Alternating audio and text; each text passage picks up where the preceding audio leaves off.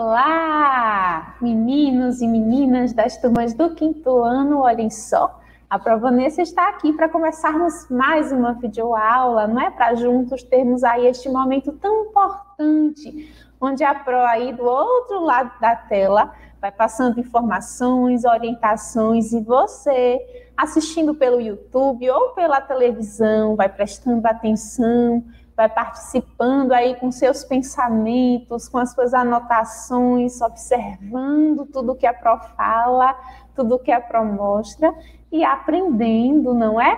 Pois é, a Pro espera aí que estejam gostando das aulas e que as aulas estejam aí contribuindo para um bom projeto de vida, não é? Para que você aí estabeleça suas metas, seus objetivos e pensem aí em tudo de positivo que você precisa desenvolver para que a sua vida aí, ó, seja bastante produtiva, seja aí um sucesso. Que a gente vai saber agora sobre o que nós estudaremos na videoaula de hoje. Vamos lá?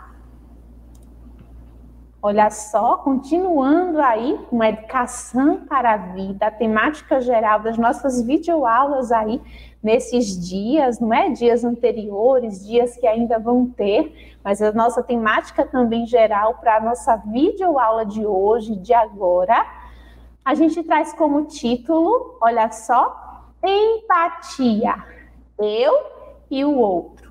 Hum, já ouviram falar aí nesta palavra empatia? Pois é. É uma palavra, inclusive, que vem sido muito falada, né, muito divulgada entre os meios de comunicação, entre as falas, entre os diálogos das pessoas, principalmente no momento aí que a gente tem vivido relacionado aos problemas, às dificuldades trazidas pela pandemia. Quando se fala aí em pandemia, em problemas, em doenças, em coronavírus, ai meu Deus, a palavra empatia, ela se tornou presente aí nas falas das pessoas. E muita gente às vezes até fala, até pronuncia, até utiliza a palavra e até sabe o significado. Mas será que realmente está sendo empático? Será que ter empatia é algo realmente necessário? É algo fácil? É algo difícil? E o que é mesmo empatia? Você sabe? A gente vai observar, tá certo? Entender o que é empatia, entender como a empatia faz parte da nossa vida e como é que ela coordena, como é que ela organiza o relacionamento com nós mesmos e também com quem está ao nosso redor. Por isso o título é Empatia. Eu e o outro. E aí, para começarmos, a Pro sempre gosta de trazer uma imagem para relacionarmos ao tema e para começar aí a pensar, não é? A colocar a nossa cabeça aí, ó, para explorar os nossos pensamentos, as nossas reflexões, aquilo que a gente já sabe, aquilo que a gente já pensa, relacionando com o que a gente precisa aprender, entender a partir daquilo que a Pro vai explorar nessa videoaula junto com vocês. Então, aí nesta imagem, o que é que vocês estão observando? A gente vê aí duas pessoas, não é? Trocando os, os braços e observando uma outra, ou olhando para frente, mas através do olhar do outro. Então a gente já percebe que existe aí nesse relacionamento, nessa relação, nesse encontro, é, essa questão interessante, não é? Que é olhar em volta através dos olhos do outro. Será que isso tem a ver com empatia? Vamos lá saber? E aí, para pensar, a Pro novamente as perguntas. Você sabe o que é empatia? O que vocês acham de termos empatia? Será que é necessário? Não é necessário? É bom? Ou é ruim? De que forma a empatia interfere em nossa vida? Hum, olha só, será que a empatia é algo que a gente precisa, atrapalha, ajuda? A gente vai observar agora. E aí, para começar o nosso entendimento e para começar a explicação da PRO sobre empatia, eu fui lá em busca do significado no dicionário. A palavra empatia aparece assim: capacidade de se colocar no lugar de outra pessoa, buscando agir ou pensar da forma como ela pensaria ou agiria. Compreensão. Aí tem um exemplo. Demonstrou empatia ao.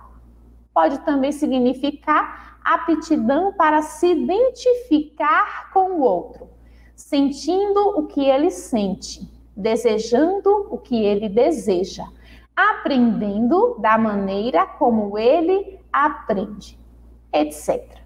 Então, quando a gente percebe pelo próprio significado trazido no dicionário para a palavra empatia, a gente já começa a relacionar com uma imagem que a Pro mostrou anteriormente, não é?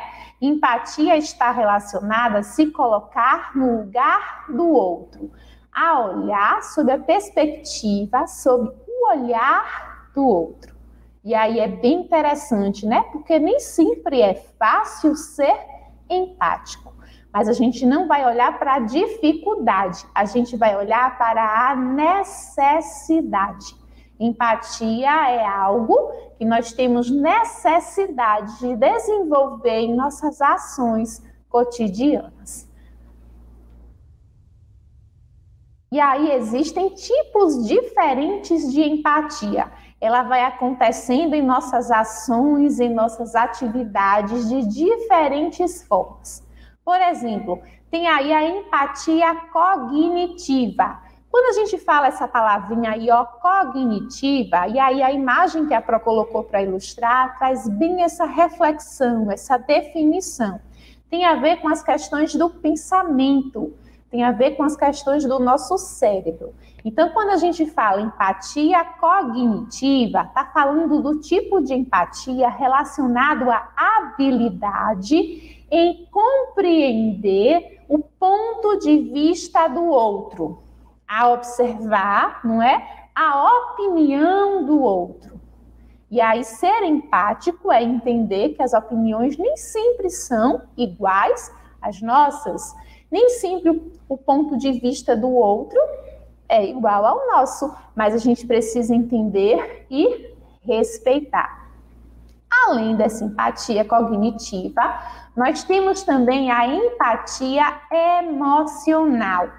E aí a palavra emocional e a própria imagem que a Pro colocou aí, não é essa mãozinha com coração, a gente já faz a relação com as nossas emoções, com os nossos sentimentos. Então, empatia emocional está relacionada à habilidade em perceber os sentimentos do outro, a entender o que o outro está sentindo diante aí das diversas situações que nós podemos passar no nosso dia a dia.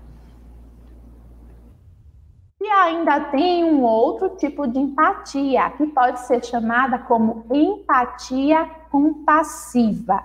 E essas mãos aí significando, não é, ou explorando a definição de ajuda, está relacionada ao conceito, não é? A definição para esse tipo de empatia compassiva, que é perceber o que o outro está precisando para, enfim, né, nós podermos, podermos aí ajudar aquela pessoa. Então a gente pode perceber o que o outro pensa, perceber o que o outro sente e também perceber o que o outro precisa. Aí dessa forma a gente vai estar desenvolvendo os vários tipos de empatia. E aí a Pro traz esse questionamento para a gente já começar a refletir, porque é importante entender o que é empatia, mas é importante também, não é? E aí talvez muito mais importante é sermos empáticos. E aí a Pro pergunta: você é empático? Será que a empatia faz parte das suas ações no dia a dia? E aí, quando a gente fala em empatia, a Pro essas imagens porque a empatia ela está relacionada ao olhar para o outro, ao é, ouvir, não é? De acordo com o que o outro ouve, a dialogar de forma coerente, de forma respeitosa com o outro, a pensar, não é? A observar a opinião do outro. Então, quando a gente pensa em empatia, a gente precisa ter as nossas sensações, ter os nossos sentidos relacionados às outras pessoas, relacionado a quem está à nossa volta.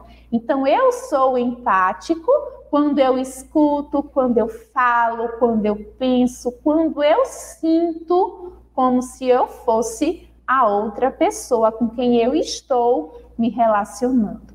É justamente se colocar no lugar do outro com todas as sensações e sentimentos que o outro está sentindo. E aí nós temos então empatia, não é? Quando nós tomamos a perspectiva do outro, né? A opinião do outro, o ponto de vista do outro, quando a gente deixa de julgar, então a gente deixa de observar que a opinião é contrária, que a gente não concorda, que talvez determinada opinião é melhor, determinada perspectiva é melhor. Então, quando não há esse julgamento do que é melhor, do que é pior, do que é certo, do que é errado. A gente simplesmente respeita as diferenças. E aí, quando eu reconheço as emoções do outro, eu também estou sendo empático. Quando eu me comunico corretamente, quando eu percebo que o outro quer falar, quando eu percebo que o outro está sentindo, quando eu paro para escutar o que o outro está falando quando também eu tomo atitudes de auxílio. Então, eu percebo que uma pessoa está precisando de ajuda e eu ajudo. Então, eu também estou sendo empático. E aí fica a dica, não é? Um bom começo aí para começarmos a desenvolver a empatia em nossas atitudes é a escuta empática. Já ouviu falar? Escuta empática? E a PRO estabeleceu aí um percurso, não é? Para escutativa empática, que é quais são os passos que nós podemos seguir para já começarmos a desenvolver a empatia através da escuta, né? Desse sentido aí da audição. Então, como é que você aí desenvolve a sua empatia através da escuta? Vamos começar o nosso percurso? Nosso amiguinho aí já chegou. E aí o primeiro passo depois da saída é evito pensar em outros assuntos ou preocupações, mantendo-me atento ao momento presente. Hum, então, ó, quando a pessoa vem conversar comigo, de repente desabafar, contar um problema, eu fico atento ao que ela está falando. Olha só, olho nos olhos da pessoa, estabelecendo uma conexão para o diálogo. Aí, ó, prestar atenção está também na ação de olhar no olho. Evito interromper e utilizo-me da linguagem corporal ou não verbal, como balançar a cabeça, demonstrando que estou atento à conversa. Hum, olha só, então eu demonstro estar atento, estar prestando atenção, estar dando importância que o outro está me falando. Olha só, mais uma pergunta. Atento-me às expressões faciais, tom de voz e outros comportamentos não verbais do outro para melhor compreendê-lo. Então, estou observando além das palavras. E a gente continua. Olha só. Consigo não julgar, entendendo que a pessoa é diferente de mim e aí consigo não considerar que é certo ou que é errado, mas simplesmente ouvir e dar atenção e importância. Faço perguntas e peço exemplos para esclarecer o que é dito e compreender os sentimentos da outra pessoa. Não tento aí, ó, ser, é, tento compreender o que o outro está falando,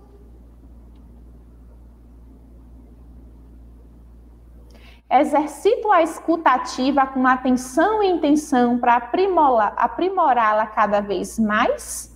Olha só, então faço isso constantemente, né? E observo como algo importante e necessário, né? Escutar as pessoas.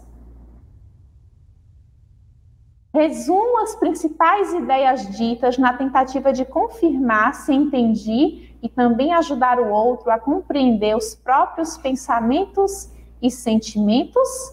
Hum, e aí, depois que eu escuto o que o outro fala, qual foi a dificuldade, o problema, eu procuro né, observar, entender, não é tudo que o outro falou, e aí observar de que forma eu posso ajudá-lo.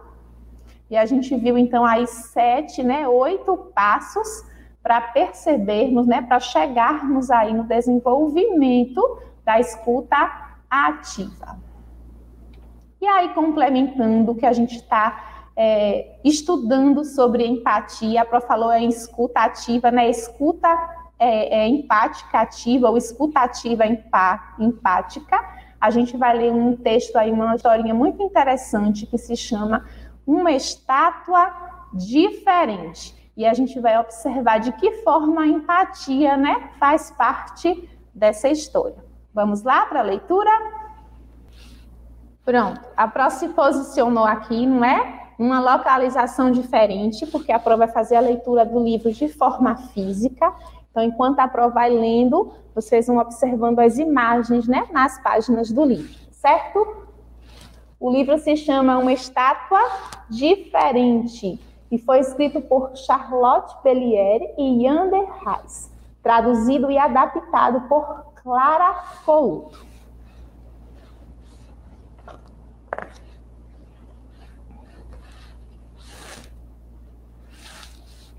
Na esquina de uma avenida há um edifício de apartamentos.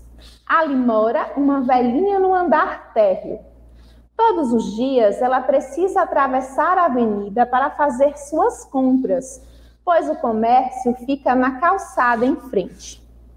Ela não é mais jovem, caminha com dificuldade e tem medo de enfrentar o trânsito. Para criar coragem, a velhinha segura na mão de um pedestre e parte para a grande travessia. Evidentemente, as pessoas ficam surpresas, mas a maior parte do tempo ela é acolhida com um sorriso. Até neste momento. Mas que loucura é essa? Não! Velhota, qual o seu problema?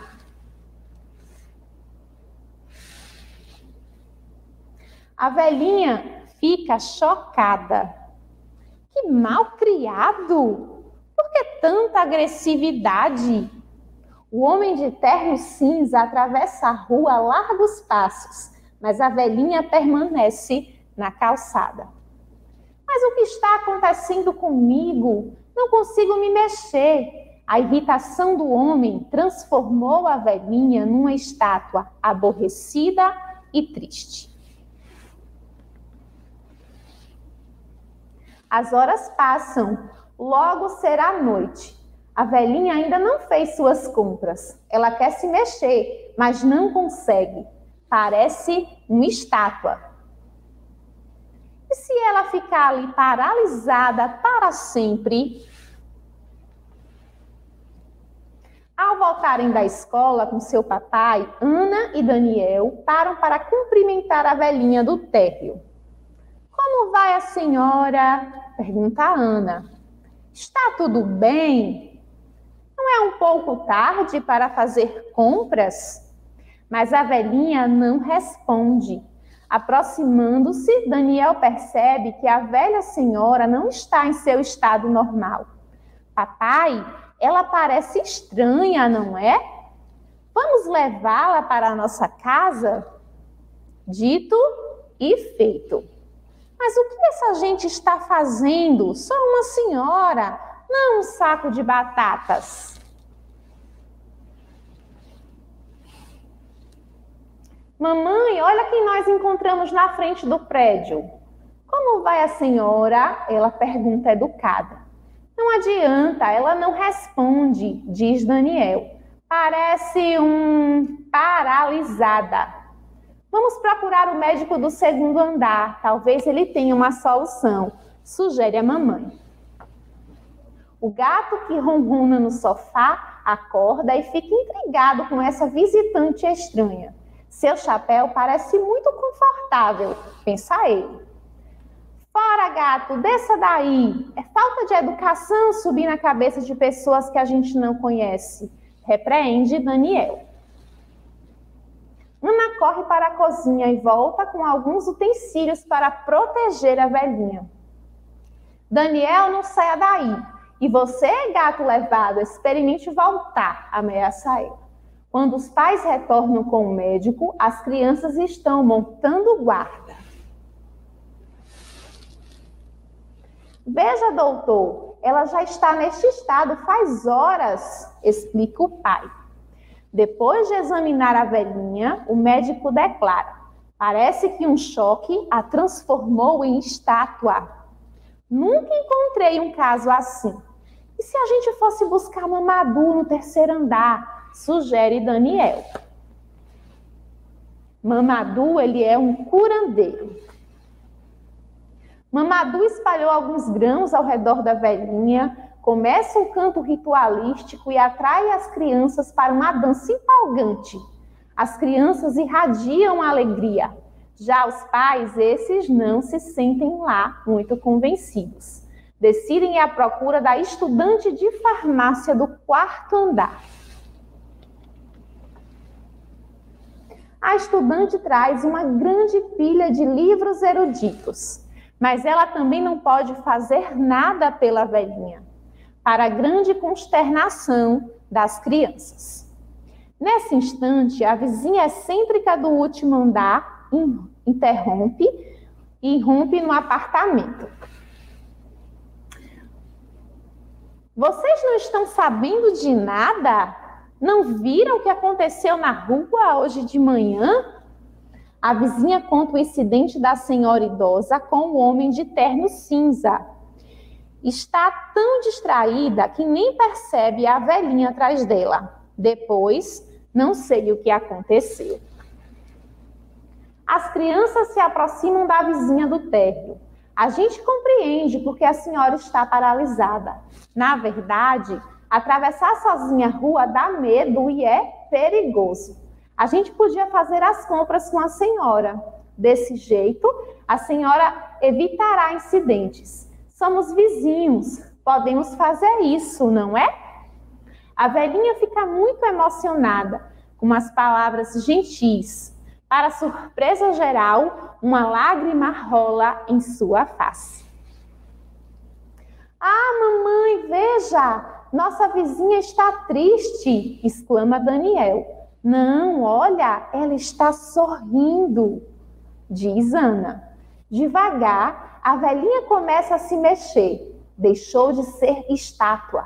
Alguns instantes mais tarde, ela murmura um tímido agradecimento, provocando gritos de alegria. Aliás, pergunta a Ana, a senhora poderia dizer qual é o seu nome? Maria Luísa, mas como a gente se encontra todos os dias, me chamem de Marilu.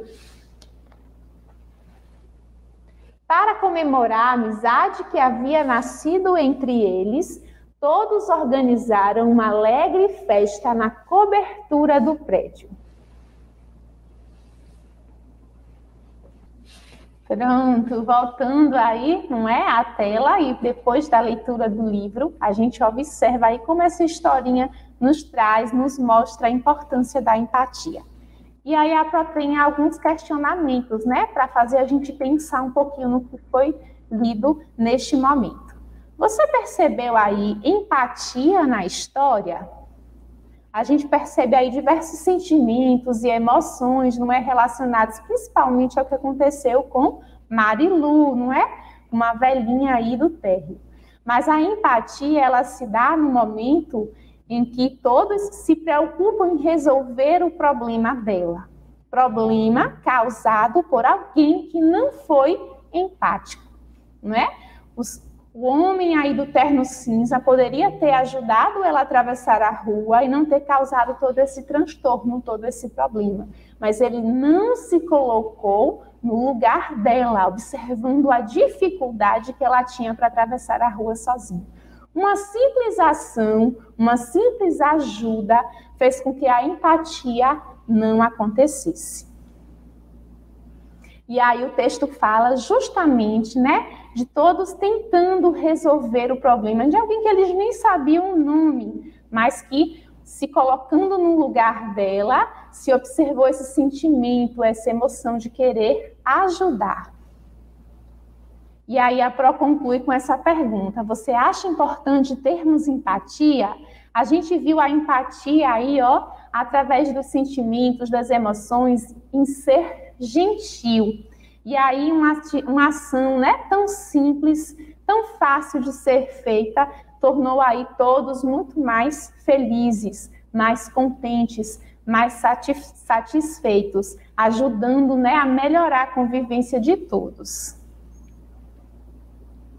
E aí, percebendo essa importância, né, de sermos empáticos, de olharmos e fazermos as coisas como se nós fôssemos as outras pessoas, a Pro quer complementar aí com essa, essa, é, esse videozinho bem curto, né, uma animação bem interessante e acho que complementa essa, essas emoções, né, essas informações trazidas pelo texto, pela historinha. Então presta atenção aí, porque a gente agora vai ficar de olho no vídeo.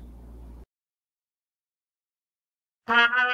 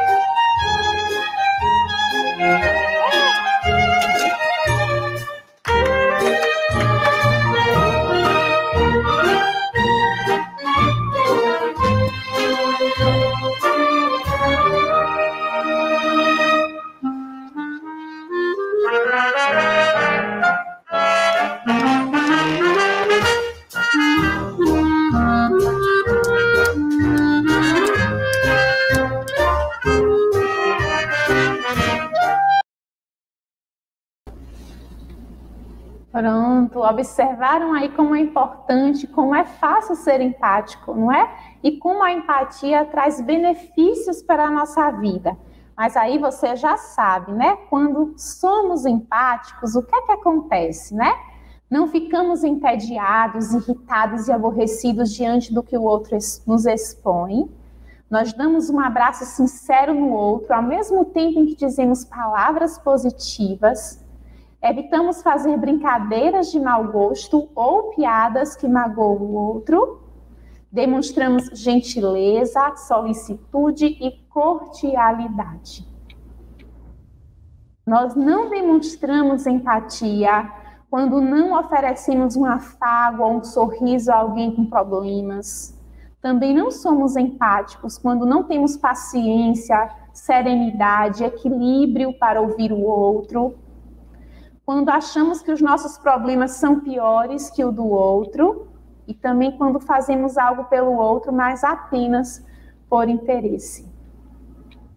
a gente observa que a empatia te faz bem, faz bem, faz bem a todos nós. A gente já percebeu aí que ser gentil, não é? Ser solícito, ser bom com o outro é algo que traz alegria para nós mesmos. Então que tenhamos empatia, né? Que tenhamos aí empatia não só em saber o que significa, mas nas nossas ações, nos nossos pensamentos, nas nossas atividades. A Pro termina aqui, certo? Com a mensagem dizendo: seja o arco-íris na nuvem de alguém. Vamos ser empáticos aí, desenvolver a empatia todos os dias. Tchau, tchau. Até a próxima aula.